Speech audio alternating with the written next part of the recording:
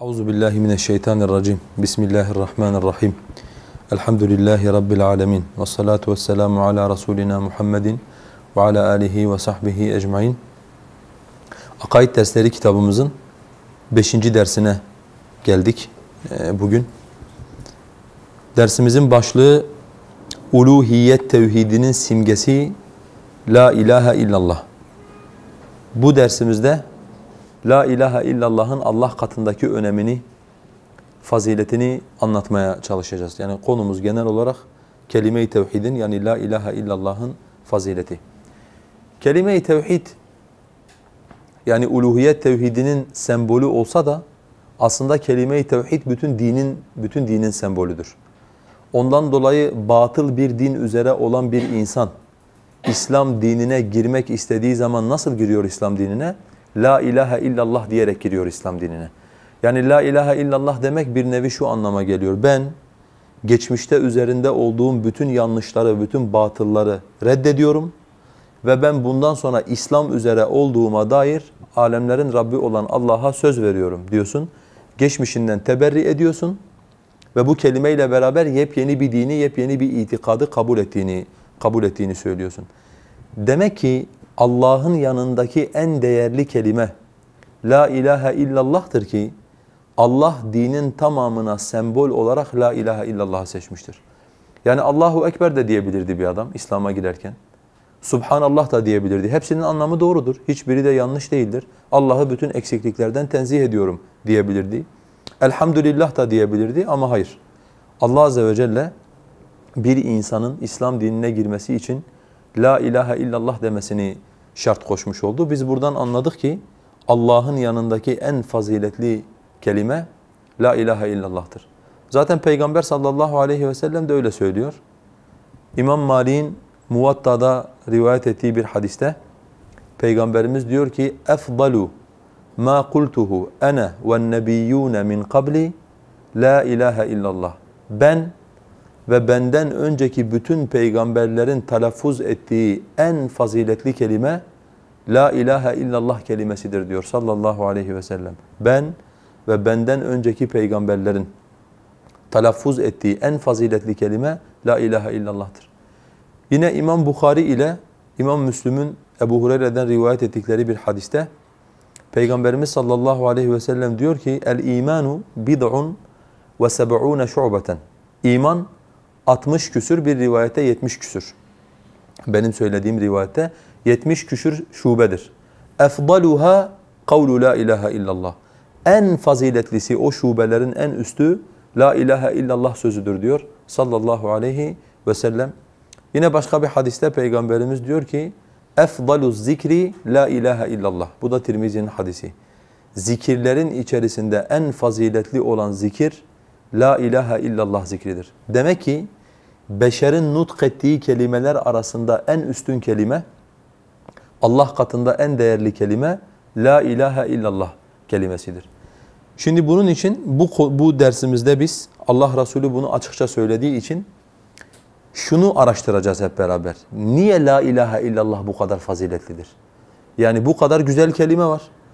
Bu kadar güzel zikir var. Bunların hepsi Allah'tandır. La ilahe illallah kelimesini diğer bütün kelimelere üstün kılan şey nedir acaba? Biz bu dersimizde bunu bunu anlamaya çalışacağız. Birinci sebep çünkü la ilahe illallah bütün peygamberlerin kavimlerine getirmiş oldukları ortak davetleridir. Yani önümüzdeki e, kitapta da en başta yazan ayet-i kerime Enbiya suresi 25. ayet-i kerime. Allah azze ve celle ne dedi? وَمَا أَرْسَلْنَا مِنْ قَبْلِكَ مِنْ رَسُولٍ İlla nuhi ileyhi ennehu la ilahe illa ana fa'budun. Senden önce hiçbir peygamber göndermemiş olalım ki mutlaka biz ona şunu vahyetmişizdir.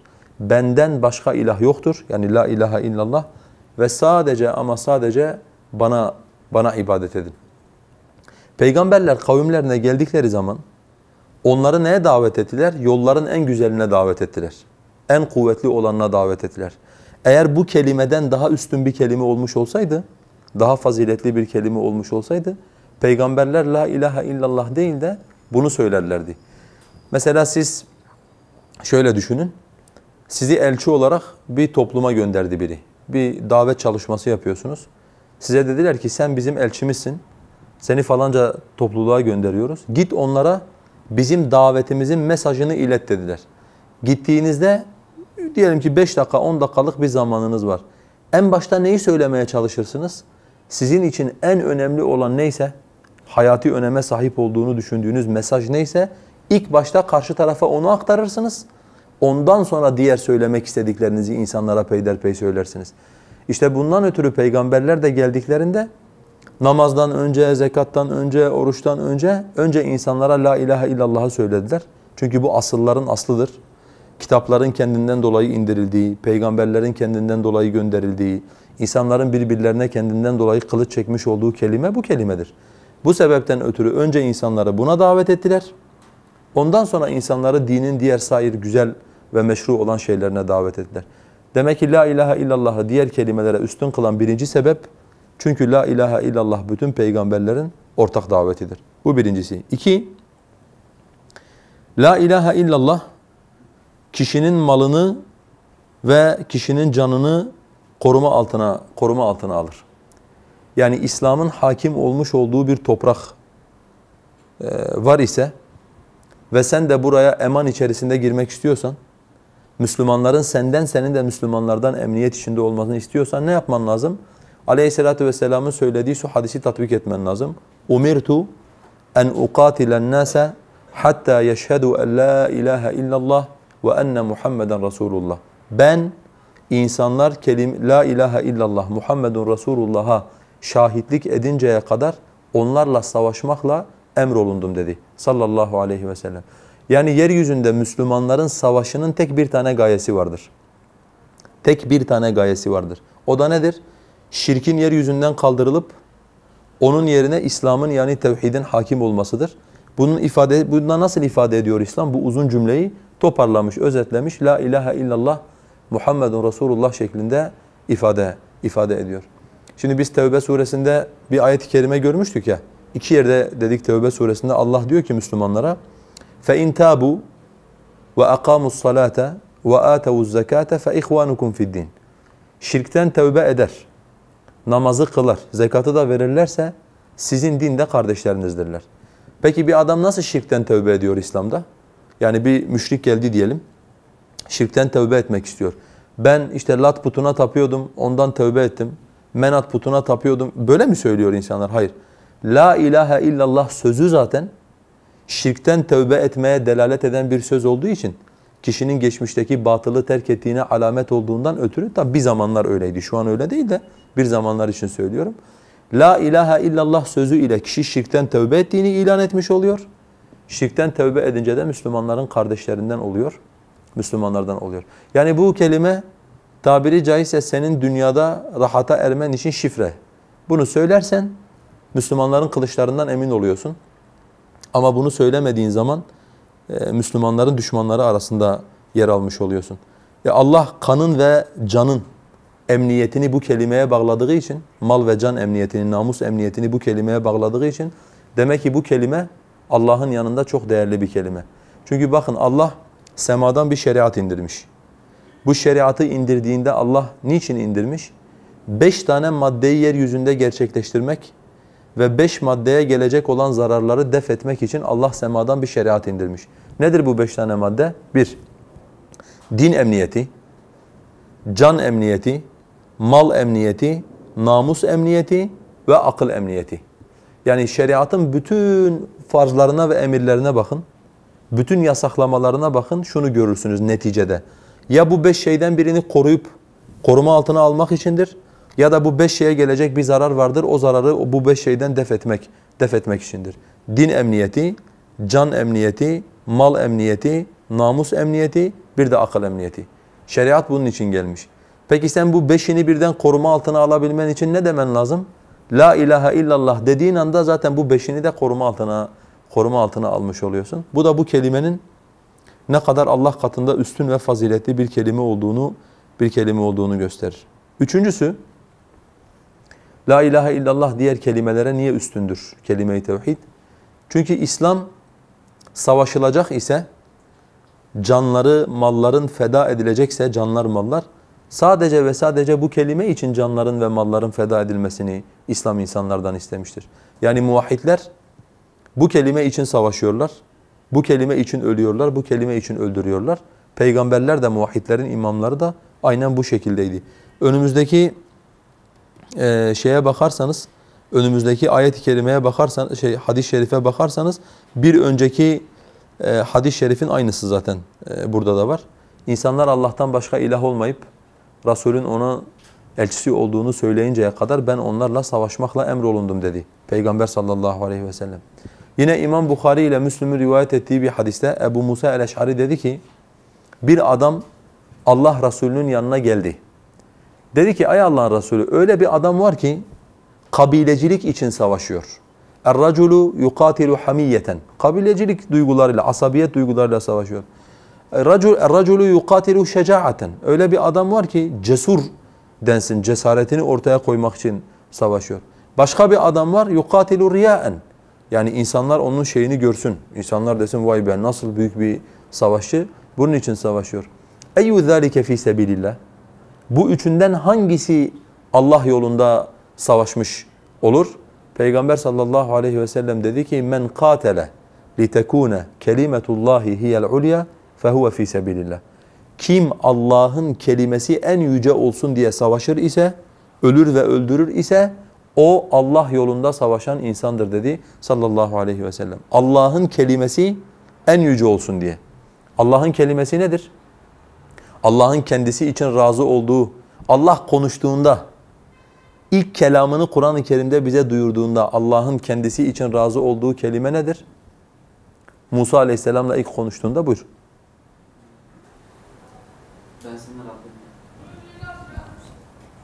Başka? İnnehu inneni enallahu la ilahe illa ana. Ey Musa ben o Allah'ım ki benden başka hiçbir ilah yoktur dedi Allah azze ve celle. Allah bizim bildiğimiz kullarından yeryüzünde ilk kiminle konuştu? Musa aleyhisselamla konuştu. Onun için biz Musa aleyhisselama Allah'ın kelimi diyoruz. Yani Allah'la konuşan peygamber diyoruz. Allah Musa aleyhisselamla konuştuğu zaman Musa aleyhisselam ilk söylemiş olduğu söz budur. İnneni enallahu la ilahe illa ana. Muhakkak ki ben o Allah'ımdır ki benden başka hiçbir ilah yoktur. Yani la ilahe la ilahe illallah. Kim Allah'ın kendisi için razı olduğu bu kelimeyi yeryüzünde yüceltmek ister, aziz kılmak ister ve bunun için savaşır ise onun savaşı İslam'a göre meşru bir savaştır. O Allah yolunda olan, Allah'ın razı olmuş olduğu bir savaştır. Normalde Allah kullarının savaşmasını ister mi? Allah kullarının savaşmasını ister mi? Mesela örnek veriyorum. Bir, bir basit misal vereyim size. Siz diyelim ki bir topluma İslam'ı anlattınız. Toplum sizden İslam'ı kabul etti. Bir topluma dediniz ki gelin barış içinde yaşayalım. Toplum dedi ki tamam barış içerisinde yaşayalım. Kimse kimsenin namusuna, malına el uzatmasın dedi. Böyle bir vasatta Allah savaşmayı emrediyor mu kullarına? Hayır. Savaş namaz gibi bir şey değildir. Yani nerede olursanız olun yapın diye emredilen bir şey değildir. Karşında savaşın gerekçeleri yoksa savaş, savaşmana da gerek yoktur. Ve Allah'ın asıl istediği, Resulünün asıl istediği savaş olmadan insanların tevhidi kabul etmesidir. Ama insanlar tevhidle toplum arasına engel koydukları için, Müslümanların haklarına tecavüz ettikleri için, yeryüzünde şirki yayıp onun propagandasını yaptıkları için insanlar Müslümanları savaşa zorlamışlardır. Mesela bizim peygamberimiz bir seriyenin başına bir emir tayin ettiğinde İmam Müslim bunu bize rivayet ediyor. Ne derdi ona? Onu gönderdiği zaman sen müşriklerden düşmanın olan biriyle karşılaşırsan onu üç şeyden birine davet et derdi. Bu bütün emirlere peygamberimizin tavsiyesidir. Müşriklerden, düşmanlarından biriyle karşılaşırsan onu üç şeyden birine davet et. Onu tevhide davet et, İslam'a davet et. Eğer kabul etmezse onu cizyeye davet et derdi peygamberimiz. Savaşma. Yani de ki ver İslam devletine vergini, rahat içerisinde yaşamaya devam et. Bunu da kabul etmezse eğer o zaman Allah'tan yardım iste ve Allah'a karşı kafir olanlarla savaş derdi. Bakın önce neye davet ettik onları? İslam'a davet ettik. Adam kabul etmedi diyelim. Seninle savaşıyoruz. Hayır. Bak gel cizye ver. İslam İslam'ın emanı altında yaşa diyoruz. Adam kendi küfrü dini üzere yaşıyor. Ama İslam İslam'ın izzetini kabul edip cizye veriyor. Onu da kabul etmezse biz o zaman savaşıyoruz. bu kadar yani Allah ve Resulü savaşın olmamasını daha ziyade insanların bu dini dinlemesini istiyor olmalarına rağmen söz konusu kelime-i tevhid olduğunda bütün bu sınırlar, bütün bu ölçüler kalkıyor ve Allah azze ve celle Allah dostlarıyla Allah düşmanlarının bu kelime için birbirleriyle savaşmalarını savaşmalarını istiyor. Tarih boyunca muvahhidlerin önderi olan gerek peygamberler olsun, gerek onların varisleri olan alimler olsun. Kan dökmüşlerse, savaşmışlarsa bu kelime için savaşmışlar, bu kelime için kan dökmüşler. Mesela Müslümanın canı çok değerlidir. Müslümanın canı çok değerlidir. Hatta Müslümanın canının değerini anlamak için Peygamber sallallahu aleyhi ve sellemin şu hadisini anlayabiliriz. Aleyhissalatü vesselam bir hadis-i şerifte diyor ki Kabe'nin bir Müslüman Kabe'nin yıkılması Allah'ın yanında bir Müslümanın kanının dökülmesinden daha basittir. Yani Allah'ın yanında Kabe mi yıkılsın yoksa bir tane Müslüman mı ölsün? İki seçenek olsa Allah azze ve celle diyor Kabe yıkılsın ama gene bir Müslümanın kanı gene bir Müslümanın kanı dökülmesin. Niye? Çünkü Allah'ın yanında mümin kulu da değerlidir. Onun canı da değerlidir, malı da değerlidir, namusu da namusu da değerlidir. Ama söz konusu tevhid olduğu zaman hiçbir şeyin değeri kalmaz. Söz konusu la ilahe illallah olduğunda hiçbir şeyin değeri kalmaz. Çünkü la ilahe illallah her şeyden daha daha değerlidir. Onun için Allah müminleri savaş meydanına sürmüştür. Onun için peygamberler ölmüştür, öldürmüştür. Onun için yeryüzünün en değerli insanları hiç çekinmeden canlarını, mallarını tehlikeye atmışlardır. Sebep la ilahe illallah. Buradan da la ilahe illallah'ın Allah katında ne kadar değerli olduğunu anlayabilirsiniz. Allah kendi yanındaki en değerli şeyleri bu kelime uğruna e, feda ediyor ve feda edilmesini de istiyor aynı zamanda. Evet, üç oldu değil mi? Üç tane madde söyledik. Dört, kelime-i tevhidi diğer kelimelere üstün kılan dördüncü maddemiz, kelime-i tevhid cennetin anahtarıdır. Kelime-i tevhid cennetin anahtarıdır. Kim bu kelime ile Allah'ın huzuruna gelir ise şartlarını yerine getirmiş, onu bozan unsurlardan da kaçınmış ise o cennetin kapısını açan ve insanı cehennemden koruyan, cehennemden koruyan bir kalkana dönüşür. Şimdi e, bu bir söz söyledim ya, dedim la ilahe illallah cennetin anahtarıdır. Bunun delili ne? İmam Bezzar'ın müsnedinde rivayet etmiş olduğu bir hadistir. Peygamber sallallahu aleyhi ve sellem dedi ki Miftahul cenneti la ilahe illallah. Cennetin anahtarı la ilahe illallah'tır. Cennetin anahtarı la ilahe illallah'tır. Biz bir şey ekledik buraya. Dedi ki kim la ilahe illallah'la gelir, onun gerekleriyle amel eder ve onu bozan unsurlardan kaçınırsa eğer la ilahe illallah cennetin anahtarı cennetin anahtarı olur. Bunun delili ne? İmam Bukhari Vehb ibn Münebbih'ten, selefin alimlerinden, imamlarından bir tanesi. Biri ona soruyor. Diyor ki, Eleyse la ilahe illallahu miftahul cennet? La ilahe illallah cennetin anahtarı değil midir ey imam? Yani bu kelimeyi getiren herkes e, bundan cennete girmeyecek mi? O da dedi ki evet. La ilahe illallah cennetin anahtarıdır. Fakat senin anahtarının dişleri varsa sana kapı açılır. Senin anahtarının dişleri yoksa sana kapı açılmaz dedi Vehb ibn Münebbih. Ne demek bu? Şimdi sen anahtar diye bir demir parçasını eline alırsan, dümdüz bir demir parçasını, her deliğe sokabilirsin onu ama sana kapı açılmaz. Çünkü senin soktuğun anahtarınla kapının anahtar deliği arasında bir uyum olması lazım. Bu uyumu sağlayan şey ne? Anahtarın dişlileri. Her kapının kendine ait, kendine uygun bir dişli, diş sistemi var. Senin getirdiğin anahtar eğer dişleri varsa burada kastettiği la ilahe illallah'ın şartları onun gerekleriyle amel etmek ve onu bozan unsurlardan kaçınmak sana kapı açılır. Aksi halde sana kapının açılması mümkün değildir. Kişi eğer cennetin anahtarıyla Allah'ın huzuruna gitmiş ise bu söylediğimiz şekilde Allah'ın üzerine haktır ki ona azap etmesin ve onu cennetine cennetine koysun. İmam Bukhari ile Müslim Muaz İbni Cebel'den rivayet ediyorlar. Muaz İbni Cebel diyor ki ben bir gün Allah Resulü'nün bineğinin arkasına oturmuş idim.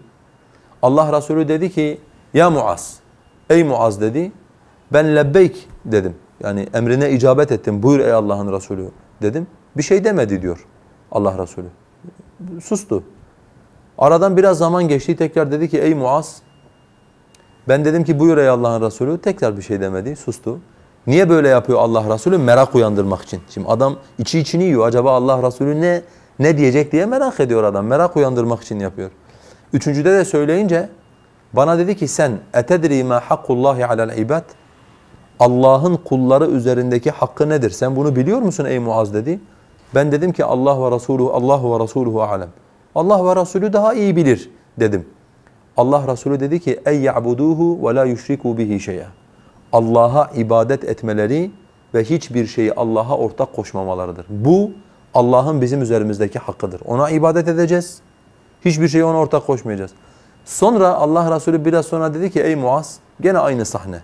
Efendim sustu. Ey Muaz efendim sustu. Ey Muaz peki kulların Allah üzerindeki hakkı nedir biliyor musun? dedi. Ben Allah ve Resulü daha iyi bilir dedim. Peygamber sallallahu aleyhi ve sellem dedi ki eğer bunu yaparlarsa onlara azap etmemesidir. Yani Allah'a ibadet edip hiçbir şeyi ona ortak koşmazlarsa kulun da Allah üzerinde bir hakkı oluşur. Kimsenin Allah üzerinde hakkı yoktur. Fakat bu Allah'ın fazlından, kereminden ihsan ettiği bir şeydir. Sen Allah'ın huzuruna la ilahe illallah ile gidersen eğer Allah azze ve celle de kendi huzurunda sana eziyet etmeyeceğine, azap etmeyeceğine dair Allah azze ve celle sana söz vermiştir. Niye biliyor musunuz sebep? Sebep şudur. Çünkü la ilahe illallah seninle Allah arasındaki sözleşmedir. Daha önce de söylemiştik. Sen Allah'la bir sözleşme yapmak istiyorsan bu sözleşmeyi hangi kelimeyle yapıyorsun?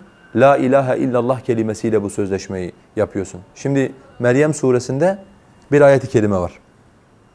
Allah azze ve celle hiç kimsenin kimseye kıyamet gününde şefaat edemeyeceğini anlatırken diyor ki وَلَا يَمْلِكُونَ الشَّفَاعَةِ Onlar hiçbir surette kimse için ellerinde şefaat yetkisini bulunduramazlar. Yani sen mesela meleğin sana şefaat edeceğini umuyorsun. Allah diyor kimsenin elinde böyle bir yetki yok. Peygamberin sana şefaat edeceğini umuyorsun. Salih birinin, şehidin şefaat edeceğini umuyorsun. Kimsenin elinde kendiliğinden kullanabileceği böyle bir yetki yok. Tek istisnası kimdir? İlla men ittehaza indar rahmani ahda. Rahman'ın yanında bir sözü olanlar müstesna diyor Allah azze ve celle. Rahman'ın yanında sözü olanlar. Yani bazı insanlar var. Allah'ın yanında onlara ait bir ahit var. Bir söz var. Bu Meryem suresi 78. ayet-i kerime. Bu okumuş olduğum ayet-i kerime. Rahman'ın yanında onlara ait olan bir söz var. Nedir peki bu söz? İbn Abbas diyor ki bu söz la ilahe illallah sözüdür. Kim la ilahe illallah'ı söyler, onun gerekleriyle amel eder, onu bozan şeylerden kaçınırsa Rabbinin yanında ona ait olan bir beraat belgesi vardır. Ateşten beraat belgesi vardır.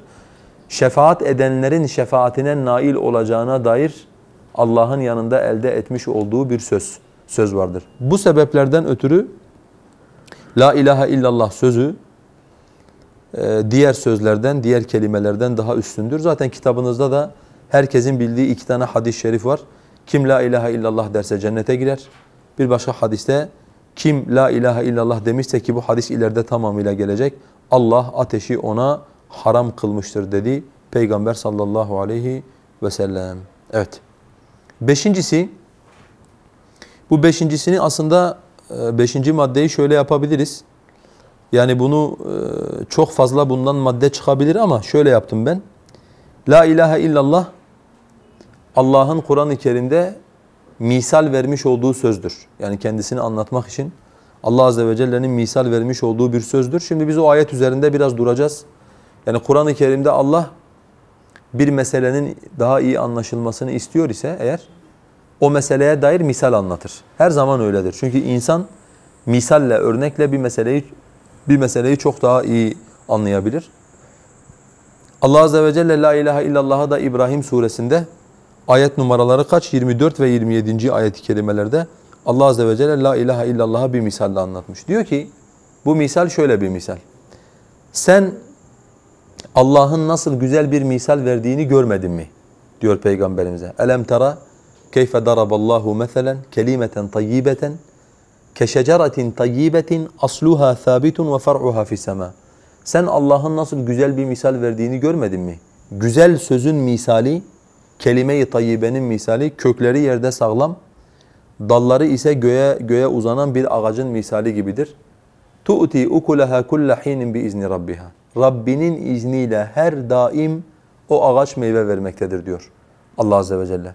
Bu neyi anlatıyor burada Allah? Kelime-i tayyibeyle Allah azze ve celle la ilahe illallah anlatıyor. Şimdi bakın. Bu misalle ilgili şunu birinci olaraktan şunu anlayacaksınız. Arapçada bir şeye kelime deniyorsa eğer kelime deniyorsa o sözün yani mesela bir kavul var. Kavul. Bu da söz demek. Kelime var. Bu da söz demek. Kavul ile kelime arasındaki fark nedir? Bir şeyin kelime olabilmesi için karşıdakinin üzerinde tesir bırakması, etki bırakması, etki bırakması gerekir. Mesela Araplar yaraya kelim diyorlar. Yaraya kelim diyorlar. Boksör, boksör aynı kökten türeyen bir isim veriyorlar boksöre. Yani bir şey karşı taraf üzerinde eser bırakıyorsa, etki bırakıyorsa buna kelime diyorlar Araplar. Niye Allah la ilahe illallah'a kelimetun tayyibe dedi?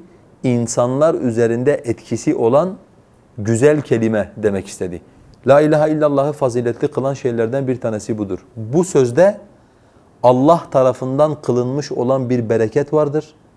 İnsanlar bunu anlayarak nutk ettikleri anda hayatlarında bütün mürebbiler bir araya toplansa değiştiremeyecekleri şeyleri insanlar bu kelimeyi nutk ettikleri anda değiştirebiliyorlar hayatlarında. Tarih bunun örnekleriyle doludur. Yani o karakterde Allah'ın bize anlattığı karakterdeki bir adamı alsan, dünyanın en iyi eğitmenlerini bir araya toplasan, yüzlerce yıl o adamı eğitseler, adamın hayatında değiştiremeyecekleri şeyleri bu kelimeyi söyledikleri anda adamların hayatında değiştiğini görüyorsun. Tabi nasıl söylediklerinde? Anlayarak, fehmederek, idrak ederek söylediklerinde. Mesela buna kimi örnek verebiliriz? Hayatlarında ciddi anlamda değişiklik olanlara kimi örnek verebiliriz? Ömer radıyallahu anh olabilir. Başka?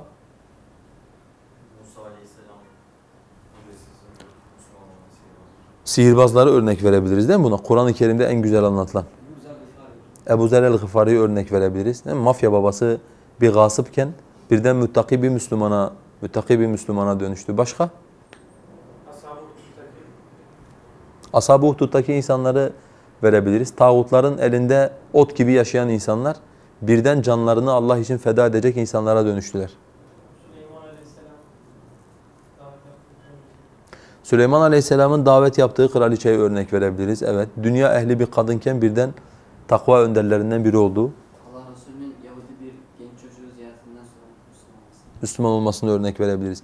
Şimdi bunlar bu örnekler bize ne için var? Şu şunun için var. Bu kelimenin içerisinde bir bereket var. Bu bereket Allah tarafından kılınmış olan bir bereket.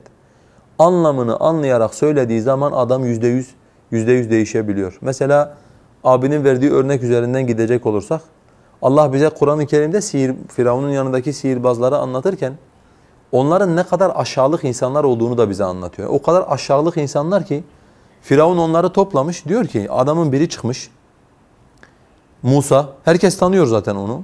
Kendisine peygamber diyor. Allah'la konuştuğunu iddia ediyor ve size meydan okuyor. Adam bir merak eder değil mi? Yani acaba bu peygamber ne anlatıyor, insanları neye davet ediyor? O kadar aşağılık insanlar ki böyle bir şey akıllarının ucundan bile geçmiyor. İlk Firavun'a söyledikleri şey şu.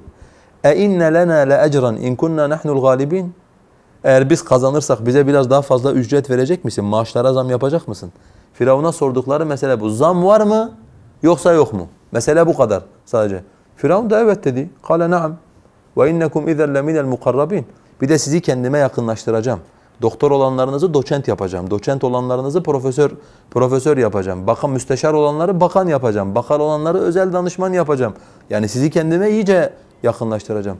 Bu kadar karaktersiz adamlar Musa Aleyhisselam'ın davetini anlayınca La ilahe illallah deyince bütün dertleri maaş olan adamlar Firavun onlara dedi ki sizin ellerinizi ve ayaklarınızı çaprazdan kesip sizi hurma ağaçların dallarına asacağım dedi onlara. Firavun tehdit ediyor. Firavun tehdidini yapabilecek bir güçte mi? Yapabilecek bir güçte. İstediği çocuğu öldürüp istediği çocuğu sağ bırakacak kadar e, la el bir şekilde yaşayan bir adam. Ne dediler biliyor musunuz Firavun'a? Dediler ki لَنْ نُؤْسِرَكَ عَلَى مَا جَاءَنَا مِنَ الْبَيِّنَاتِ وَالَّذِي فَطَرَنَا Bizi yaratan Allah ve bize gelen bu delilleri bırakıp seni tercih edecek değiliz ey Firavun dediler. اِقْتِمَا اَنْ تَقَاتْ Hükmet. Ne hükmedeceksen onu hükmet. اِنَّمَا تَقْدِ هَذِهِ الْحَيَاةَ الدُّنْيَا Sen bu dünya hayatına hükmedebilirsin sadece. Ötesini ötesine hükmedebilir misin? Ötesine hükmedemezsin dediler. Bu kadar basit insanlar, değersiz insanlar yeryüzündeki en değerli insanlara dönüştüler ve en değerli sözler onların ağızlarından döküldü. O günden bugüne kadar bütün tevhid ehli mücadele ederken sihirbazları kendilerine örnek alıyorlar şimdi. Yani firavunlar Müslümanları tehdit ettikleri zaman Müslümanların aklına ilk gelen şey sihirbazların söylemiş olduğu söz. Bunlar bir ders görmediler, akaid dersi yapmadılar, tefsir dersi yapmadılar. Duydular, anladılar, kalplerine girdi ve ağızlarından bu şekilde bu şekilde dışarıya çıktı. Bu kelimenin içerisinde bir bereket var. Bu bereket Allah tarafından kılınmış olan bir bereket. İnsanların hayatına değdiği anda sizin verdiğiniz örneklerde de olduğu gibi insanların hayatını tamamen değiştirebiliyor diyebiliriz. Evet. Bu misalde Allah'ın la ilahe illallah'a vermiş olduğu ikinci ikinci şey nedir? Allah dedi ki bu kökleri yerde sabit, dalları ise semaya ulaşan bir ağacın misali gibidir. Ve her daim her daim Allah'ın izniyle meyvesini verir dedi Allah azze ve celle. Tevhid la ilahe illallah kelimesi Abdullah İbni Abbas'ın sözünü söylüyorum. Müminin kalbindedir ve müminin amelini sürekli bir şekilde Allah'a yüceltmekte, sürekli bir şekilde Allah'a çıkarmaktadır. Bu Abdullah İbni Abbas'ın bu misalden anlamış olduğu anlamış olduğu şeydir. La ilahe illallah bir insanın kalbine oturduğu zaman senin Allah'a kulluk yaptığın sermayen seninle beraber demektir. Yani seni Allah'a kulluk yapmaya iten şey eğer bilgi olursa sadece bilgi, bilginin zayıfladığı zaman Allah'a kulluk yapman da zayıflar.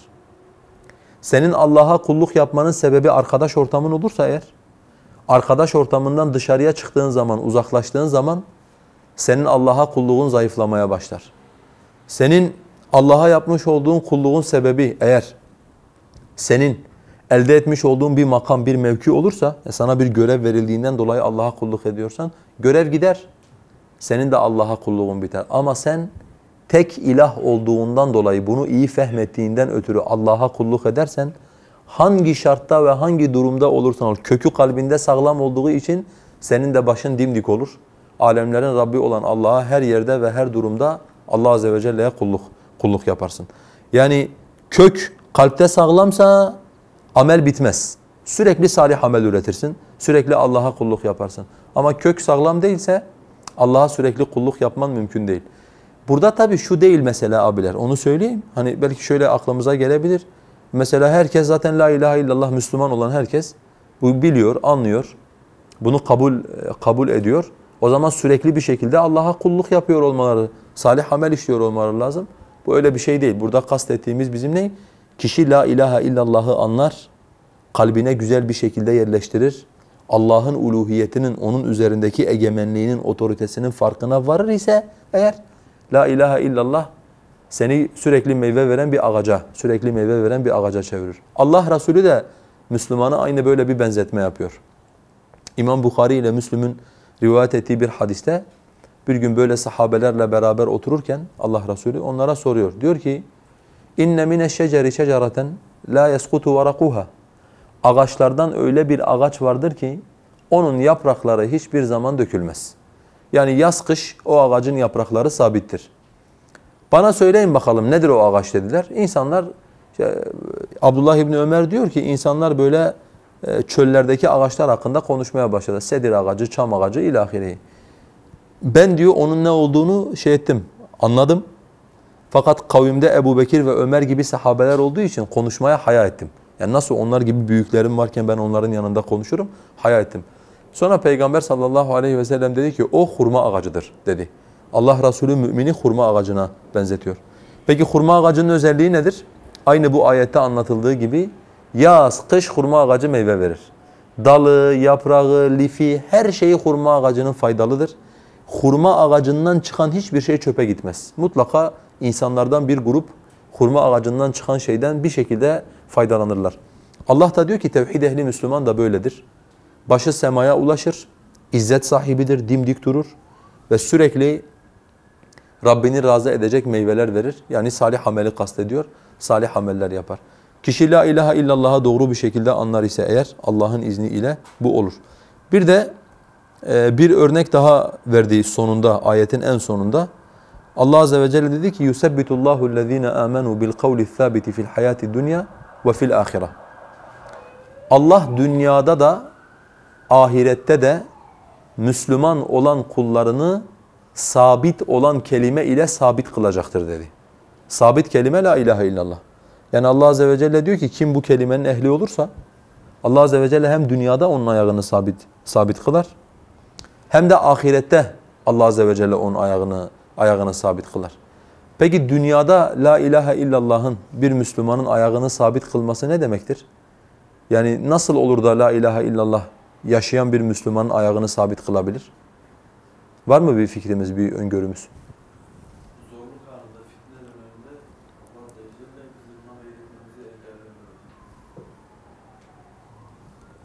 Ben bir ipucu vereyim size. Bakara 256 üzerinden düşünebilirsiniz. Bakara suresi 256 üzerinden düşünebilirsiniz.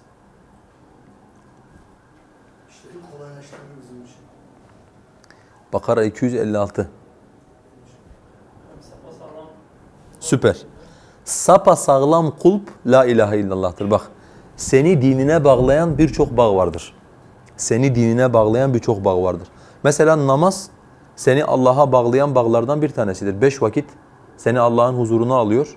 Sen Allah'ın huzurunda namaz kılarak aslında ona bağlanıyorsun.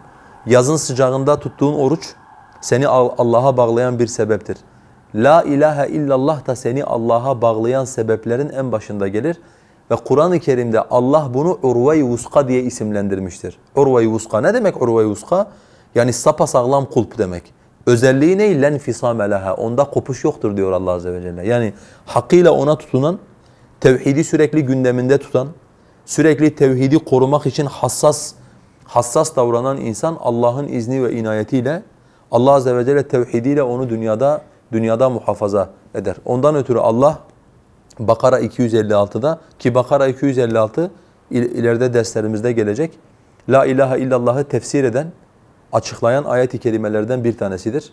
Ve orada Allah la ilahe illallah'a kim tağutu reddeder Allah'a iman ederse kopması olmayan sapasağlam kulpa yapışmıştır dedi. Kopmak istemiyorsan bu dinden, ayaklarının sabit kalmasını istiyorsan la ilahe illallah'ı tevhidi hiçbir zaman gündeminden çıkarmayacaksın. Şimdi bazen insanlar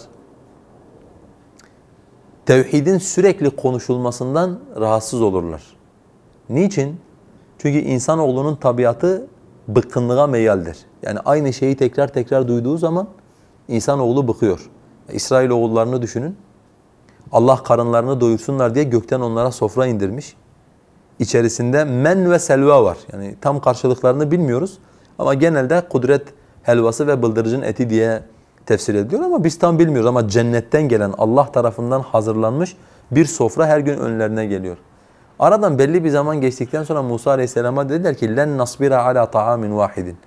Biz tek bir yiyeceğe sabredemiyoruz ey Musa. Sabır yani hani insan belaya sabreder anladık da musibete sabreder anladık da cennetten gelen sofraya sabır.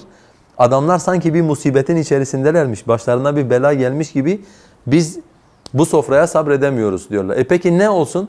Bize soğan ver, sarımsak ver, hıyar ver. Bunu istiyorlar Allah'tan. Yani salatalık istiyorlar Allah'tan. Cennet nimetlerinin karşılığında. Bu insanoğlunun tabiatıdır.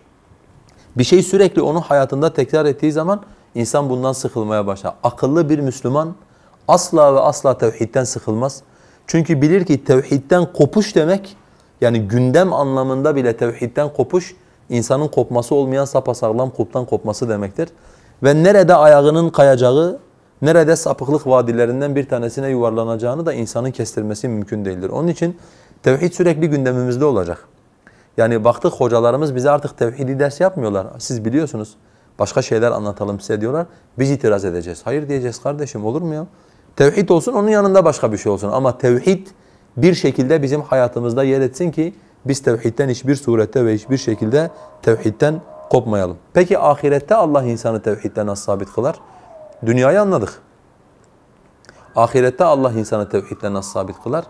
Peygamber sallallahu aleyhi ve sellem İmam Bukhari'nin rivayet ettiği bir hadiste diyor ki mümin kul kabre konduğu zaman ve kendisine soru sorulduğunda Allah'ın birliğine şahitlik eder. İşte bu İbrahim suresindeki ayet-i kerimenin manasıdır diyor. Bu İmam Bukhari'nin Bera İbni Azib'den naklettiği bir hadis bu. Mümin kul kabre konduğunda kendisine sual olunur. Senin Rabbin kim? Sen dünyada kime kulluk ettin denilir.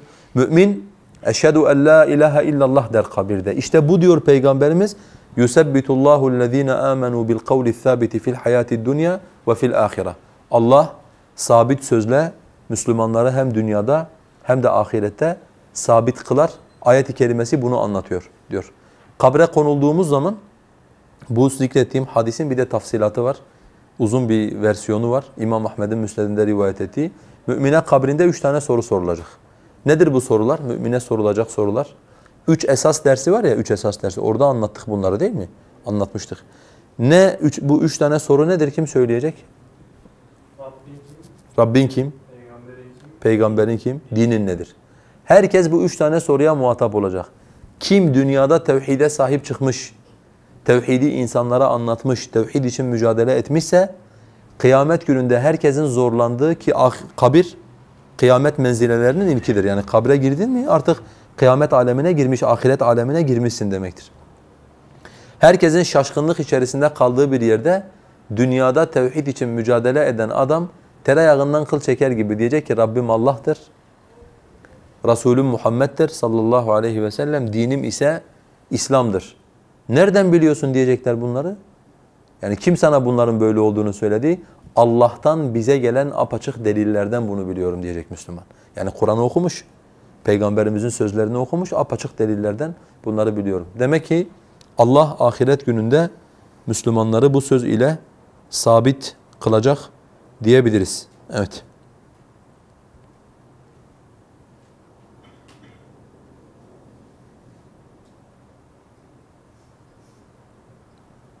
Beşinciyi de söyledik. Altıncı, altıncıya gelmiş olduk. Altıncı da şudur. Mizanda en ağır gelecek olan kelime ke- şey kelime-i tevhiddir demişiz. Kelime-i tevhid diğer şeylere niye daha faziletlidir, niye daha üstündür? Kıyamet gününde kesin bildiğimiz şeylerden bir tanesi şudur. Bir mizan kurulacak kıyamet gününde. Yani bizim itikadımızın temel, ahirete olan itikadımızın temel esaslarından bir tanesi kıyamet gününde bir mizan konacaktır.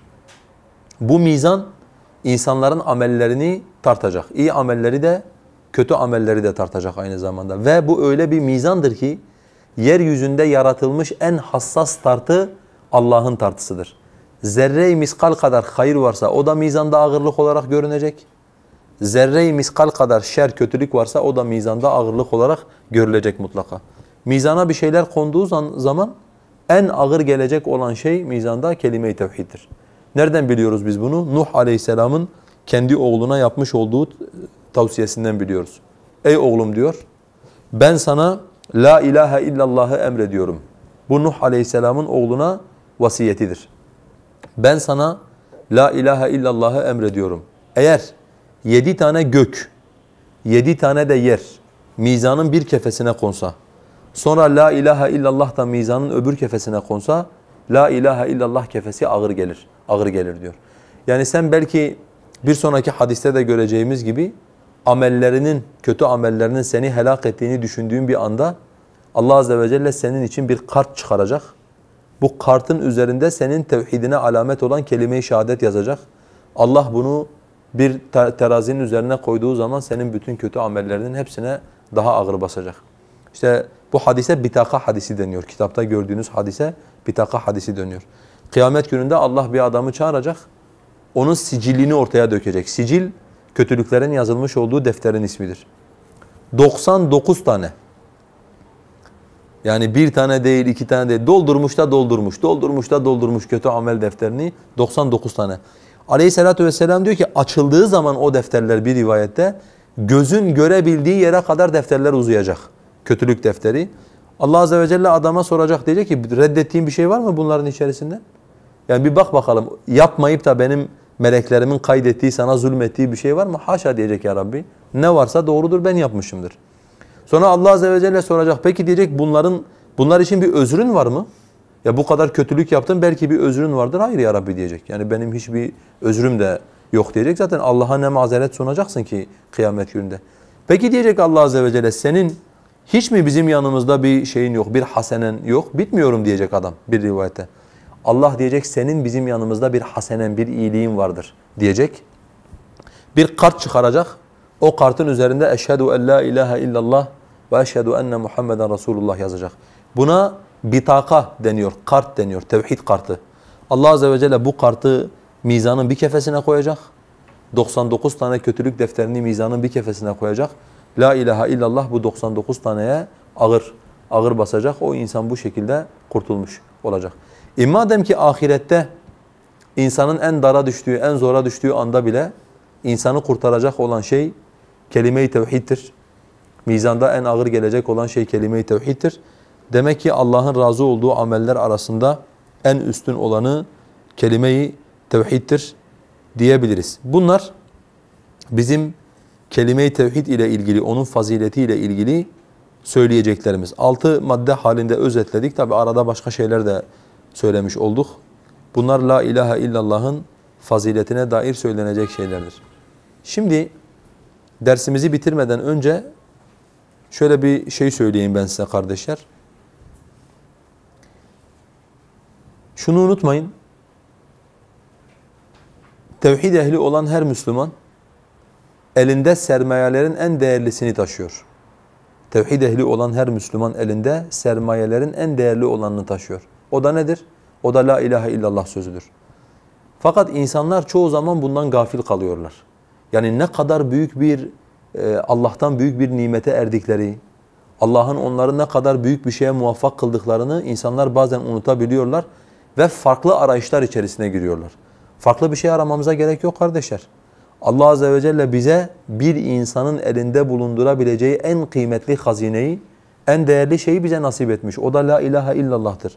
Bir ömür insan bu kelimeyi anlamaya çalışsa, bir ömür insan bu kelimeyi hayatına tatbik edip bütün böyle hücrelerine kadar Allah'ın uluhiyetini, Allah'ın otoritesini, büyüklüğünü anlamaya çalışsa, bir ömür harcansa insan bir şey kaybetmiş olmaz. Çünkü bundan daha önemli, bundan daha değerli, bundan daha önemli ve değerli bir şey yoktur. Onun için sürekli Allah'a hamd edin. Yani tevhid nimetinden ötürü, la ilahe illallah nimetinden ötürü sürekli Allah'a hamd edin. Ve mutlaka bu kelimenin ehli olduğunuzu ara ara kendinize hatırlatın. Yani sen bu kelimenin ehlisin.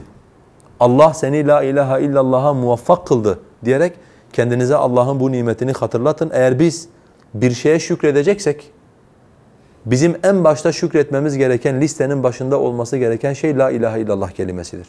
Bilmiyorum hiç teşekkür ediyor musunuz Allah'a? Ya Rabbi beni bu kelimenin ehlinden kıldığın için sana sonsuz kere hamdolsun diye, sana sonsuz teşekkür ediyorum diye. Hiç teşekkür ediyor musunuz bilmiyorum. Ama teşekkür edecekseniz, şükredecekseniz Allah'a böyle şükredin. Çocuklarınızı, e, ailelerinizi bunun üzerine terbiye edin. Her gün evinize girdiğinizde çocuklarınızın yanında deyin ki elhamdülillah biz la ilahe illallah'ın ehlindeniz. Ara ara deyin ki elhamdülillah Allah bizi bu kelimeyi anlamaya muvaffak kıldı. Ara ara deyin ki elhamdülillah Allah bizi bu kelimenin şartlarını yerine getirmeye muvaffak kıldı. Ta ki kendi çevrenizde bulunan insanların da bu nimetin farkında olmasını sağlayın. Çünkü bu nimetten daha büyük bir nimet yok bizim hayatımızda. Ama maalesef şeytan ara ara bize unutturuyor. Elimizde böyle değerli bir hazine olduğunu. Ee, inşallah biz şeytanın unutturduğunu biz kendimize hatırlatalım. Bu konuştuğumuz konu ile alakalı benim anlatamadığım veya sizlerin sormak istediği bir şey var mıdır? Evet. Ve ahiru davana enelhamdülillahi rabbil alemin.